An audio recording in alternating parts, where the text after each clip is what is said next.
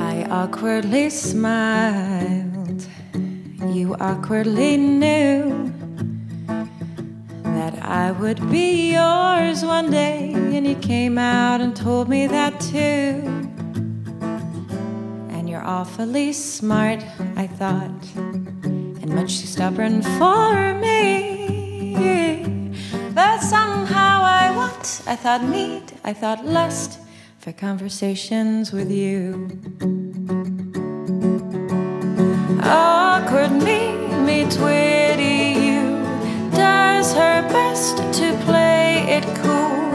Awkward girl meets mental giant, careful not to be reliant.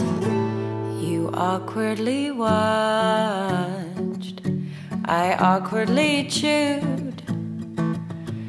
and asked you about all your goals, all the things that you wanted to do.